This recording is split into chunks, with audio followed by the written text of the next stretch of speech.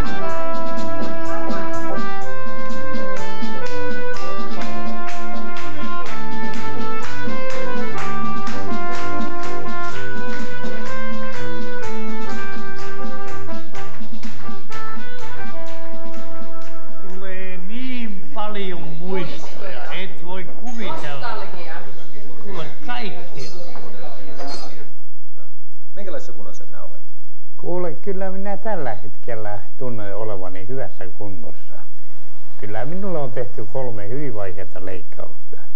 Mutta juuri lääkärit, eli tohtori Silvennoinen, joka on minun lääkäri, Jorvi ylilääkäri, ja on kehottanut, että talvella olisit jossakin muualla. Tasapaino elin leikattu pois. Tahtoo sanoa, että mä en tiedä minne mun vasen jalkani menee. Täällä on niinku helpompi olla. Ei oo jäätikköä ja niin päin. Mulla on jäätikkö vaikea. Muy bien, gracias. Muchas gracias.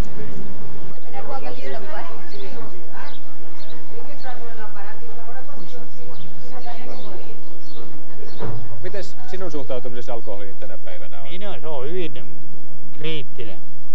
Minä en käytä alkoholia. Se oli juuri se Bernin matka, silloin kun oli ne Euroopan mestaruuskisat. Se oli urheiluseuramatkat. No toimiiko tämä urheiluseuramatkat miten pitkään? Ei, se ei niin ei kauan toiminut, koska jälleen kiellettiin, että minä en saanut matkoja järjestää muuten kuin oman jäsenistön puitteissa. No eihän se semmonen kannattaa. No ei se kannattanut. Mä panin oman yhtiön pystyyn. Tuhannen markkaa osakepääoma. Turistimatkat järjesti aika paljon semmoisia Ruotsin matkoja myös ihan silloin alkuaikoina. Ne oli aikamoisia. Matkustajia oli hirveän paljon. Siitä oli jopa 600 kerralla. Siis ihmiset lähtivät silloin hakemaan Ruotsista tarvikkeita, mitä Suomesta ei saa. Kahvista lähtien, kyllä minä muistan niin hyvin, kun yksi eukko mulle kerran soitti. Oli kova paketti kahvia. Ja kun hän haukkui, että kun te myytte sen, tai viette sellaiseen paikkaan ostamaan kahvia, jossa myydään tuommoisia meressä olleita semmoisia läjiä. En minä saanut puheenvuoroa. Mä sanoin, antakaa nyt minä puhun välillä. Ja neuvoin, että pankaapas nyt vaikka ei muuta kuin neulalla reikä siihen, niin se pussahtaa. Ja niin hän teki eikä puhunut sen jälkeen mitään. Silloin turistimatkojen aikana niin tehtiin melkoisia Euroopan kiertueita. Tämäkin matka vuodelta 1956 on kestänyt oikeastaan voisi sanoa, täyden kuukauden ajan. Minkälaisia ihmisiä tälle matkalle oikein lähti mukaan? No siellä oli eri ikäisiä ihmisiä ja ammatiltaan hyvin monet olivat opettajia, koska oli kesäloman aika. Tämä lähti Turusta Tukholmaan ja sieltä sitten lähdettiin nähtävästi autoilla ajelemaan eri maiden kautta ja kaupunkien kautta. Niin matkat tehtiin bussilla. Miten nämä muut mukavuudet oli järjestetty? Jokaisella oli oma teltta tai parilla henkilöllä yhteinen teltta, joka täytyy sitten pystyttää aina tullessa mihin aikaan vuorokaudesta tahansa. Ja miten sitten ruokailut? Ja ruokailut äh, oli ainakin matkan varrella, niin oli täällä campingalueellakin. Äh, oli kaasupullo ja kaasuhella mukana ja jokaisessa autossa oli aina yksi kokki ja matkanjohtaja ja he yhdessä valmistivat säilykkeistä, suomalaisista säilykkeistä ruokaa. 17 linja-autoa ajo ympäri Euroopan, mutta sitten hissun kissun minä huomasin jo, että ihmiset haluaakin lentää. Eli tuli nämä karavellit, tuli nimelliset suihkukoneet ja niin edelleen. Mutta liikennöitsijät halusivat välttämättä edelleen eh, näitä bussimatkoja järjestää. Ja minä myin koko jutun. Miten tämmöinen aseman auton vuokraamo oikein No asia on näin, että jotakin teki mieli tehdä ja, ja, ja tota, minäpäs ostin 30 pikkuautoa. Ja niin perustettiin vuokraamo. Se oli pahinta minusta se, että niitä piti hakea aina jostakin. Joko ne oli varastettuja tai, tai ne oli jätettyjä jonnekin. Ja, ja sitten viranomaisten kanssa piti te, olla tekemissä. Ei se ollut mitään. Minä myin jo matkoja silloin taas. No se lähti aivan pienestä. Se oli jo sitä aikaa, jolloin ruvettiin matkoja järjestämään lentäen. Kyllä minä muistan, kun Kanarian saarelle ensimmäinen lento tehtiin. Minulla oli viiden hengen kiintiö. Ja kun mulla oli tarpeeksi työtä, että minä sain viisi henkeä, että mä joutunut maksamaan koko viittä henkeä. Kanarian saarelle mentiin kolme päivää. Ja kone odotti siellä koko ajan. Ja taas lähdettiin takaisin kolme päivää. Se oli semmoista matkailua silloin lentokoneella. Ja se on muuttunut. Herrojen matkoja. No Hampurin matkat oli jälleen ostosmatkoja. Paljosta ja, ja Hampurihan kuuluisa erässä, erässä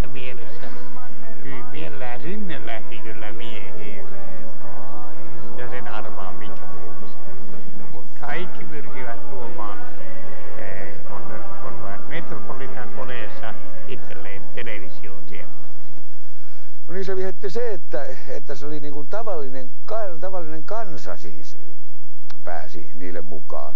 Koska ne oli niin edullisia ja muuta ja siihen Kale aina niin kuin pyrkikin, että, että tuota, tavallinen kansakin pääsee, tavallinen työläiskansakin pääsee, tuota, toi raskaan työntekijätkin pääsevät vähän katsoon maailmaa, ettei se ole niin kuin mikään etuoikeutettu joillekin niin, kuin, niin sanotulle fiksummille ihmisille. Jos lasketaan parikymmentä vuotta taaksepäin, niin silloin ulkomaanmatkoja tekivät sellaiset, joilla oli suuremmat tulot. Ja nykyään myöskin niin matkojen hinnat ovat sen verran korkeat, että enää kaikilla kansankerroksilla ei ole semmoisia mahdollisuuksia kuin siihen aikaan, kun keihäsmatkat oli toiminnassa. Hän opetti sen, että kuka hyvänsä mökin ukko tai akka tuolta Sisä-Suomesta voi lähteä etelän aurinkorannoille. Nää on suuret suomalaiset seiväsretket. Täällä seivässä on onnelliset hetket. Vaimot lapset näkemiin vai ja kiipee Eiffeliin. Nää on suuret suomalaiset seiväsretket. Härmän jätkät ovat lomaretkeilyllä. Joka miehellä on tumma puku yllä. Sauna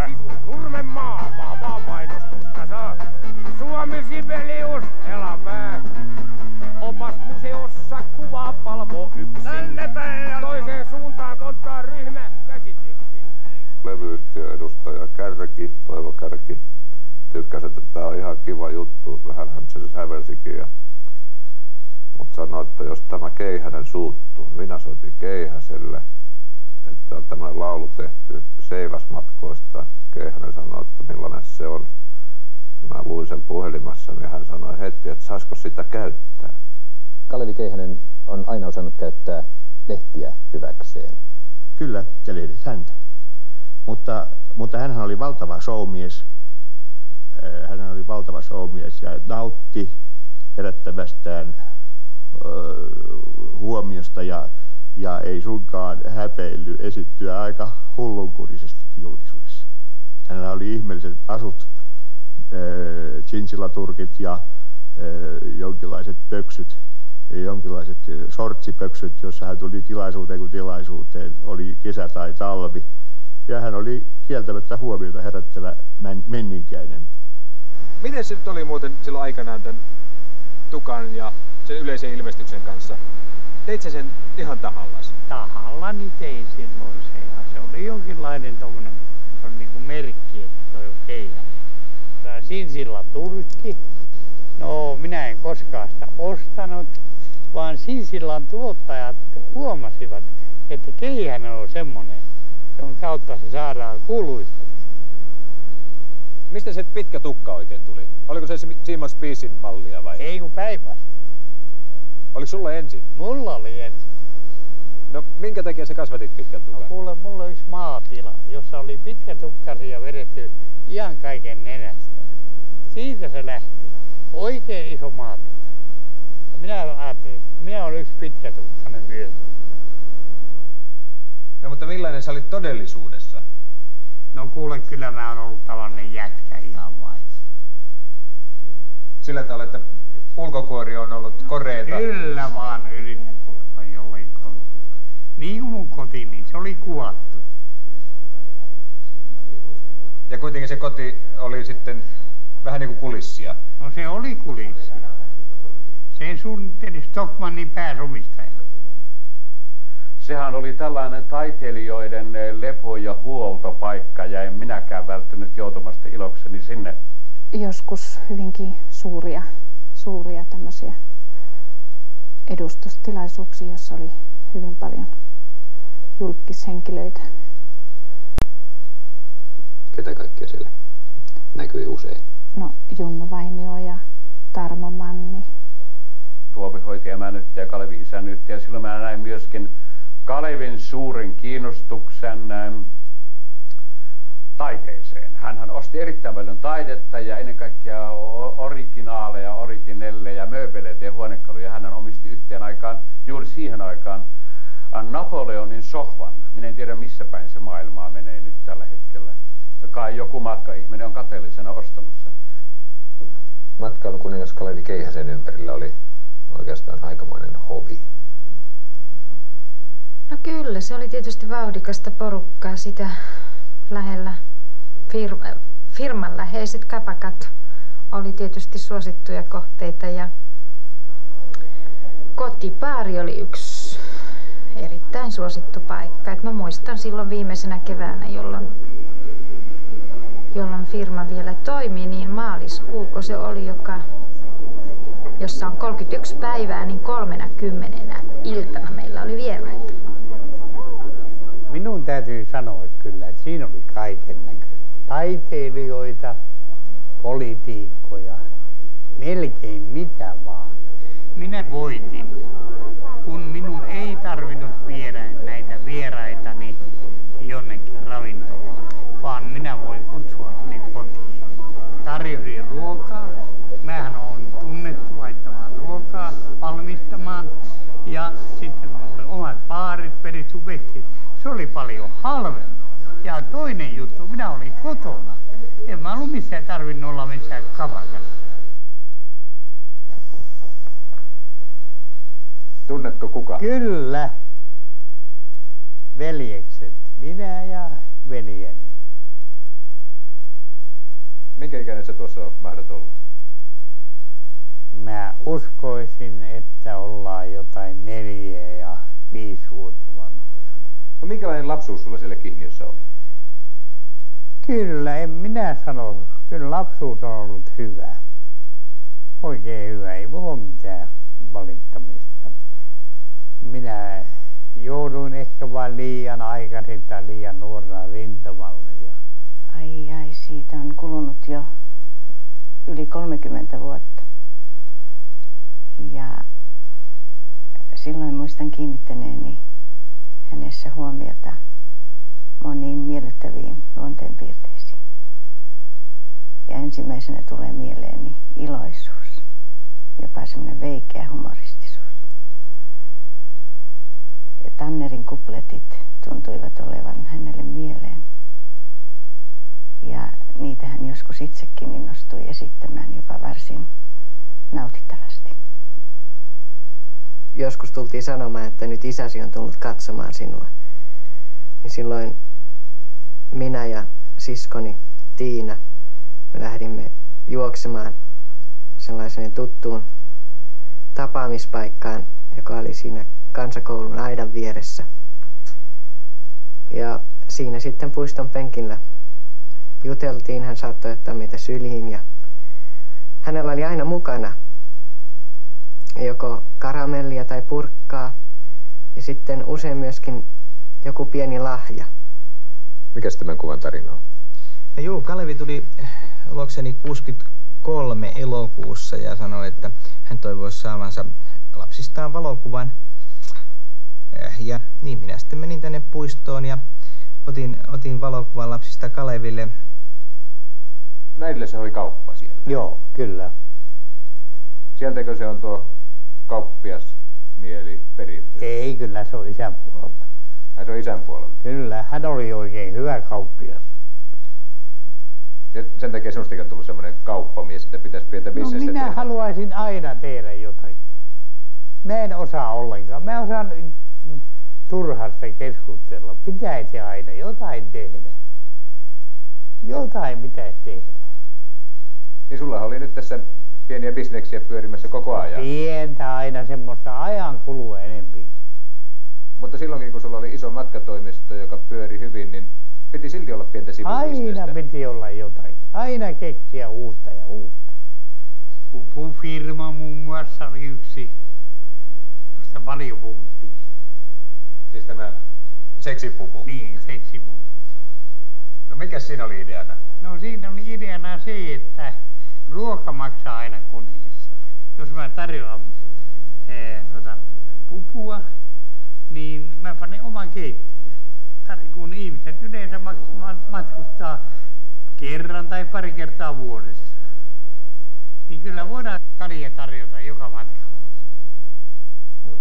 Kaikki laski etukäteen jo, että tulee Pirkkalan lentokenttä ja ää, tuolla Keski-Euroopassa on monta sataa miljoonaa ihmistä, jotka nimenomaan haluaisivat päästä halvalla Suomeen. Olin niin paljon ruurialueella kiertänyt Berliinissä ja kun totesin, että ihmiset olivat siinä ahtaudessa siellä, ne kaipaa nimenomaan päästä tuonne noin tuonne korpeen, jos voi sanoa. Ongelle sinne. Finnair oli, oli tyytyväinen, tiedän sen hyvin, koska palvelin taloa niin kauan ja Kalevikin oli tyytyväinen, mutta sitten jossain vaiheessa hän sai päähänsä, että, että kun on omat koneet, niin on omat aikataulut, sillä oli ihan muitakin kilpailijoita Suomessa, eikä hän voinut saada kaikkia viikonloppuja itselleen. Olimme Jörn Donnerin ja Kalvi Keihänsä kanssa oikein hauskalla matkalla Kambiassa ja siellä Keihänen esitti lentoyhtiöideansa ja pyysi mua mukaan, koska hän arveli, että, että mä olen sen verran pelätty mies, että, että hänen on helpompi saada lentoyhtiöille lupa. Laskettiin, kuinka paljon meillä vuodessa on lentotunteja ja lentotuntien perusteella yleensä tehdään päätökset.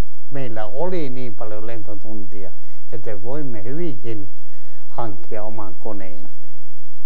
Armeijamme tulee.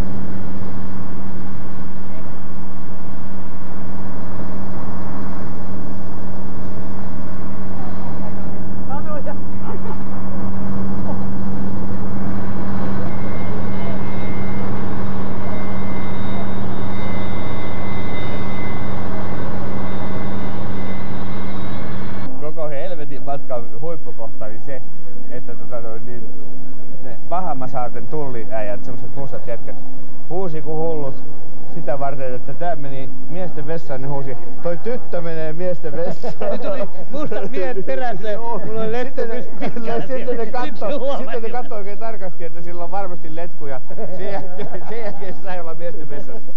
No kyllä se on oikein rento, rentoa menoa, että alkoholia käytettiin ehkä runsaammin. Se oli halpaa. Ei se muuten niin hirveän paljon poikennut Sinulla on jotenkin tarinoita näistä matkustajista, jotka tulivat vähillä matkatavaroilla. Joo, oli niitä, niitä oli aina, jotka tuli. Huomasin, että ne oli ihan viime hetkellä ostanut tämän matkansa. Tuli harmaa puku ja valkoinen nailonpaita ja meno päällä, et ei. Matkat on semmoisia kuin on matkalaisetkin. Minkälaisia te olitte? No, no me oltiin nuoria ja ei ihan nuorukaisia, mutta nuoria kuitenkin. Ja, ja lämpimässä juottiin halpaa viinaa. Saiko keihäsmatkat sikailumatkojen leiman? No en mä kyllä sitä sanoisi. Et kyllä se on tota, kyllä niin monen sadan tota, matkustajan joukossa, niin on kyllä aina joku, joka poikkeaa joukosta. No minkälaista oli sitten työskennellä keihäsen kanssa? Se oli, se oli kivaa. Että hän oli tosi reilu työnantaja. Se oli kuin iso perhe koko yhtiö. Kivoja flikkoja oli, asiallisia flikkoja. Ja tekivät työtä ja siinä oli ero valtiojohtoisuuteen. Minä annoin prosentin, myyntiprosentin niille tytöille. Ja ne juoksi, ne teki kaikkea. Niin, että tytöt teki töitä kovasti, mutta kyllä ne aika hyvin tienasivat. Ne kuule tienasivat hyvin. Ja kyllä ne tänä päivänä muistelevat minua vieläkin. Kalevi Keihänen ja naiset. Puhutaanko siitä? No siitä voidaan puhua. Kyllä niitä oli molemmin puolin. Kaikissa paikoissa, missä minä liikuin, oli sekä naisia että miehiä. Sepä se oli mielenkiintoisesti vastattu. Entäs läheiset naiset? No, mulla oli aina oppaat läheisimpiä täälläkin. He olivat mulla oikeana kätenä joka paikassa. Mutta jos sä niin tarkoitat sitä, että oliko mulla jotain tuolla suhteita, niin kuin minä en tiedä paljon semmoisia, joilla oli pitkiä suhteita. Mulla ei ollut koskaan mitään suhdetta. Minkälainen mielikuva teille Kalevi Keihäsestä on tullut? Aika epämääräinen siinä mielessä. Niin, taisi olla aika leukka jätkä. Ei joo joo, mutta sitä, sitä mä en tiedä. Niin. Mutta se, se, että et, tuota, siis kova yrittäjä. Siis hän, hän oli nimenomaan sitten. Matkailumies se oli. Lehdet kirjoittivat paljon hänestä. Minkälainen mielikuva sinulla on jäänyt? No semmonen matala, paksus turkis kävelevä, pitkätukkainen mies se oli. Semmoinen näkyvä, vähän semmoinen pröystäilevä, vaatetus Juu. erikoinen. Yhdyn samaan. Kyllä tämä julkisuus, joka toi tietysti näitä niin sanottuja ryyppykavereita ympärille, niin kyllä se lisäsi alkoholin käyttöä ja tietysti hänelle itselleen myös nousi tämä julkisuus päähän. Ja näissä pyörteissä alkoholista tuli hänen ongelmansa. Kun sanottiin, että 100 grammaa vodkaa on liian vähän. Ah, 200 grammaa vodkaa on liian paljon. Mutta kaksi kertaa 150 grammaa on paikallaan. Me näljailtiin jotain hänelle ihan niin kuin tuttavia kesken näljaillaan ja silloin hän pikkusen kimpaantui ja pomppas, pomppas ylös pöydässä ja sanoi, että kuule Urpo, sä et tiedä, hän on Suomessa suuri matkailumies, hän on päätä pitempi muita. No hän oli varreltaan lyhyt, lyhyt ja, ja semmoinen Napoleonin tyyppi. Ja, ja mä katsoin häntä näin vähän ja sanon, että kuule, et sä niin pi, pi, suuri mies ole, mutta sä oot aina kävellyt puoli metriä maanpinnan yläpuolella. Kyllä hänellä oli paljon näitä ideoita ihan terveellä pohjalla, mutta tällainen suhteellisuuden taju häneltä kyllä pikkuhiljaa loppui. Kerä tämän liiallisen julkisuuden. Pikkujoulumatka Rovaniemelle. Siellä oli Tarvajärvi mukana ja siellä oli Ylppö oli mukana ja, ja, ja siellä oli Korhonen mukana ja siellä oli paljon väkeä. Ja, ja sitten rakennettiin koneeseen valmiiksi putkista, josta sai ottaa mitä halusi.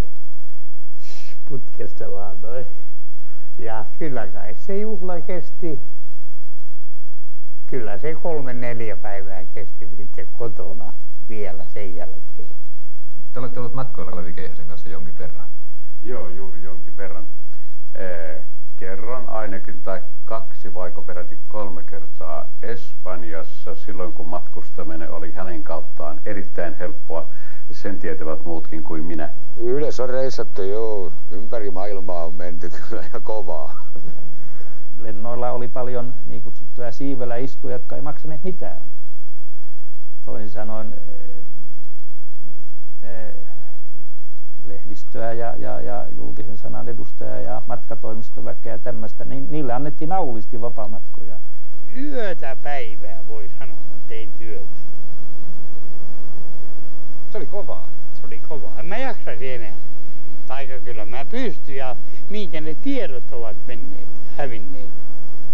Eikö ne tiedot ole tallella? Ne on varmasti ja vielä paremmin ne on tallella kuin ne aikaisemmin ollutkaan. Mä olin poika silloin.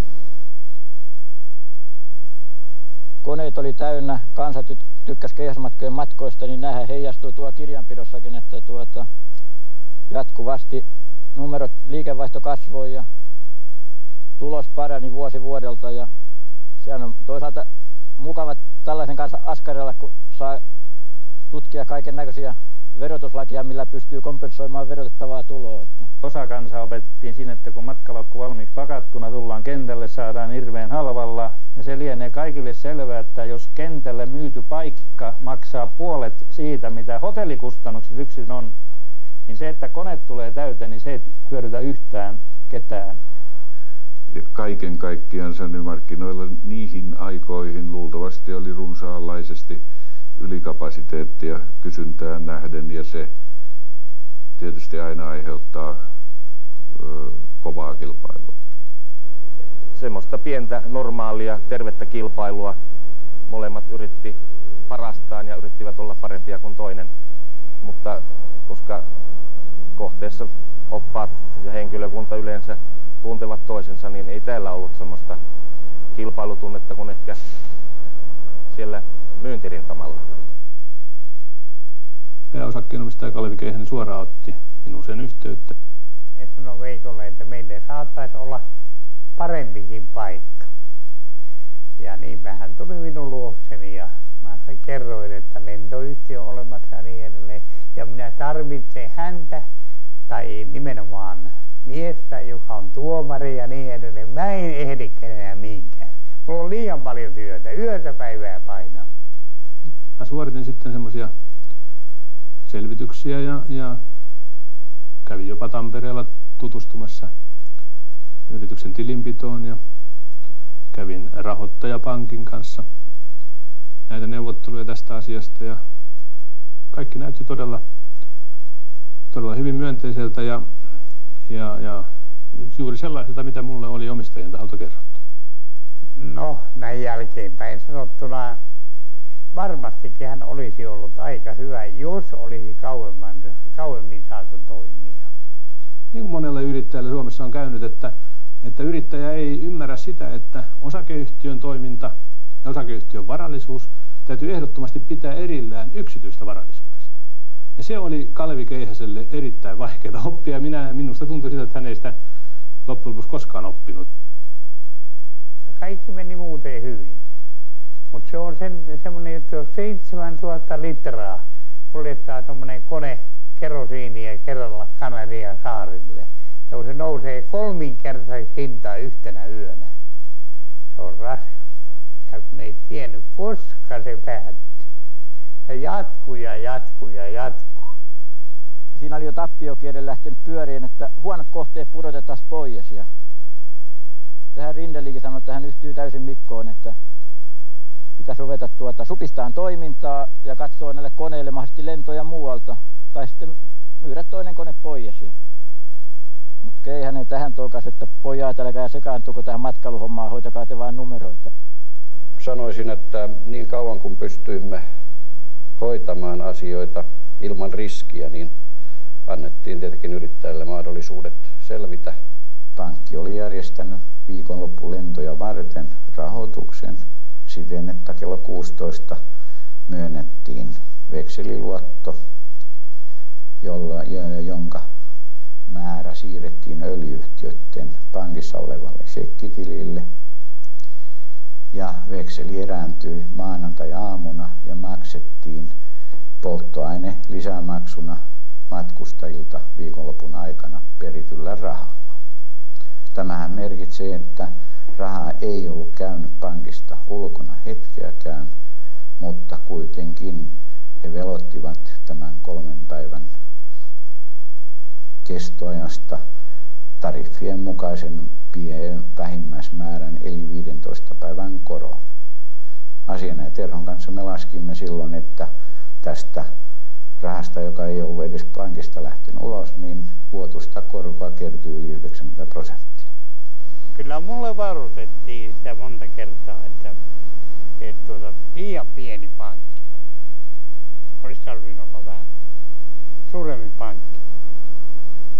Mutta mulla ei ollut niin väliä silloin. Kaikki meni hyvin. Ei, pankit sanoi mulle, että rajaton luotto. Helsingin osakepankista kutsuttiin mut sinne Helsinkiin johtokunnan palaveriin ja siinä puoli päivää puitiin ja tultiin siihen tulokseen, että ei ole mitään mahdollisuutta jatkaa. Ja tuota, tässä vaiheessa niin kutsuttiin sitten vasta Veikko Pajunenkin sinne mukaan, joka oli firman toimitusjohtaja. Ja kyllä hän tajusi sen tilanteen silloin. Keihäset ei oikeastaan siinä vaiheessa tiennyt vielä näin ratkaisevasta päätöksestä mitään. Että tämä tuli Kaleville ilmeisesti vähän niin kuin shokkina tämä homma. Meillä se tapahtui sillä lailla, että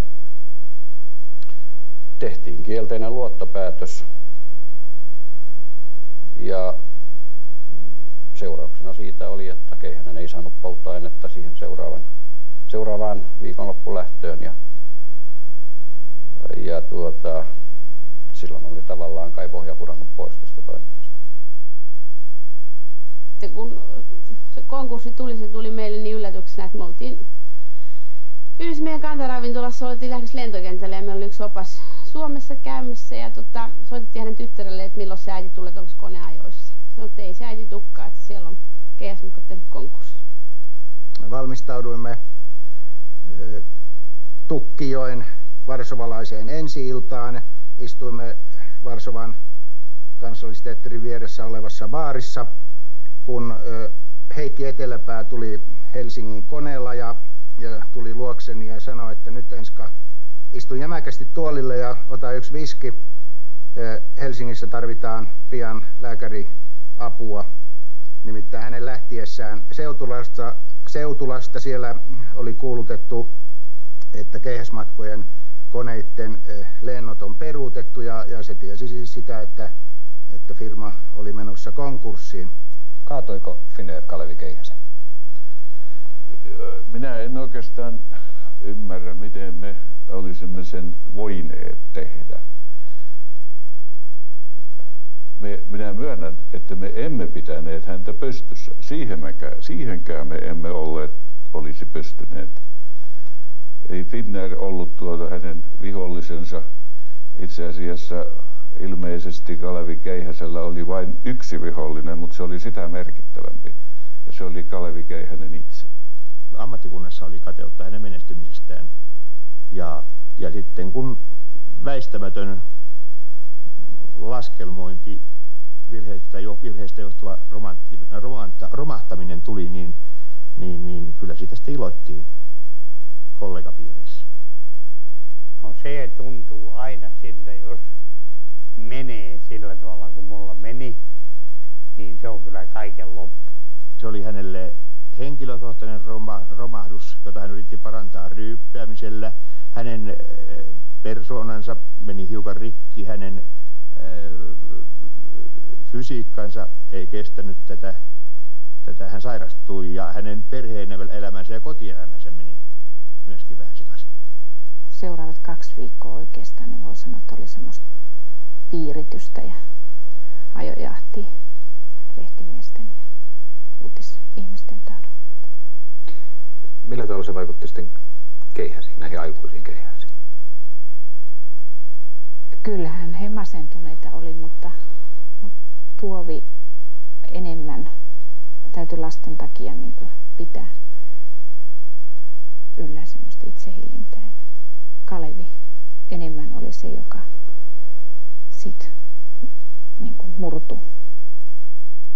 Kavereita on niin kauan kuin toisella on mitä tarjota ilmasta, siivellä elämistä tai, tai muuta, muuta hupia. Mutta sitten kun tämä loppui, niin kyllä kaverit kaikkoo. Firman juhlat, ne oli ohitte. No miten se ystävien kanssa kävi? No niitä jäi hyvin vähän. Siis tämmöisiä, mitkä olivat ennen niin kuin ollut paljonkin tekemisissä. Kalevi Keihäsen todella laaja ystäväpiiri oli muutamaa harvaa poikkeusta lukuun ottamatta hajonnut kuin tuhka tuuleen.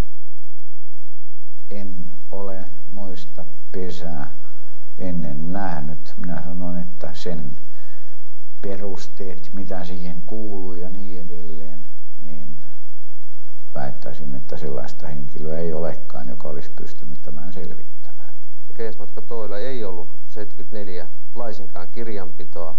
Sen kassatuloja jälkeenpäin oli erittäin vaikea selvittää. Kun on henkilökuntaa haastateltu, niin henkilökunnan taholta väitettiin, että muun muassa Keismatkat Oy Aleksanterin kadun konttorista, jossa varsinainen käteismyynti tapahtui, niin päivittäin toimiston suljettua vietiin rahaa lähinnä kassilla. Minne niitä rahoja kannettiin? Joo, siis tämä on uskomaton tarina. Eli siis mun täytyy sanoa, että mä varmaan ampusin sen ihmisen, jos mä tietäisin, kuka nämä huhut alun perin on laittanut liikkeelle. Se ensinnäkään siinä firmassa ei ole ikinä kassikaupalla ollut rahaa, koska jos firma on mennyt hyvin ja sinne on tullut vähän rahaa, niin Kalevi Keihinen on heti keksinyt kyllä ostaa jonkun maantilan ja sijoittaa ne viimeiset kipennit johonkin. Ensimmäisessä kokouksessa oli toista tuhatta henkeä Dipolissa. Siellä minä ilmoitin yleisesti, että minä henkilökohtaisesti en voi osallistua mihinkään, koska minulla on omat asiat keijätmatkoissa vielä kesken. Minä hankin rahat siihen. Siellä sitten jotkut muut vei. No seiväsmatkoille ei sitten käynyt erityisen hyvin kuitenkaan. No ei sitten. Siinä oli kai keskinäistä riitaa hyvin paljon. Siellä johtajat vaihtui ja hallintukset vaihtui ja niin edelleen. Ei se pelkästään, että tuli tämä konkurssi ja sitten se asia saatiin jollakin tavalla pois julkisuudesta, mutta sitä seurasi sitten vuosia kestänyt julkinen oikeudenkäynti, joka oli jatkuvasti otsikoissa ja, ja täysin vääristellyissä otsikoissa ja, ja asia eteni erittäin hitaasti Helsingin raastuvan oikeudessa. Mentiin monta kertaa sinne vaan ja, ja syyttäjä tyytyi pyytämään lykkäystä ja, ja taas oli isot otsikot ennen kuin juttu tuli esiin tuomioistuimessa – ja sitten se oli sinä päivänä, kun se oli esillä tuomioistuimessa ja sitten seuraavana päivänä. Niin, minä en koskaan aikaisemmin ja missään vaiheessa ollut tarvinnut tuomaria. Ja nyt sitten jouduit itse Ja sitten minä joudun. Se oli mulle uutta. Minä olin innolla ollut mukana matkatoimiston perustamisessa ja sen eteenpäin viemisessä. Ei mulla ollut aikaa miettiä mitään semmoisia juridisia asioita. Hän odotti sitä tuomiota hirveän kauan. Ja siitä monta kertaa keskusteltiin ja sitä yhdessä pohdittiin, eikö se nyt voisi jo tulla ja kumpa nämä nyt, tämä oikeudenkäynti ja koko se prosessi loppuisi. Ja hän ikään kuin sitä toivoi jo, että, että vaikka nyt tulisi mikä tuomio tahansa, niin kunhan niin kuin niistä nyt pääsisi eroon alkujaan se tietenkin oli vähän niin ja näin. Kyllä, minulle siellä he, paikan päällä virkailijat sanovat, että minä olen aivan turhaan siellä. Vaikuttiko se sinuun jollain tavalla? Se oli valtavan mukava opetus. Harva ihminen sanoo vankeustuomiosta, että se on mukava Se opetus. oli, en minä yhtään, en tippaakaan kadu. On nähnyt senkin. Mä oon nähnyt kaiken muunkin maailmassa. Ja hänen tavaraverkkinsä on ollut tämä pitkä tukka, mutta sitten hänellä oli myös pitkä parta, joka ei monienkaan mielestä, eikä ainakaan minun mielestäni pukenut häntä ollenkaan. Ja hyvin semmoinen ahdistuneen, hermostuneen, stressaantuneen tuntuinen kaveri. Tässä taustalla näkyvässä rakennuksessa Kalevi Keihäsen äiti Hilja oli yhdessä Elsa Viitasen kanssa pitänyt 20-luvulla kauppaa. Kalevi Keihänen on asunut tässä pari vuotta nyt ihan äskettäin.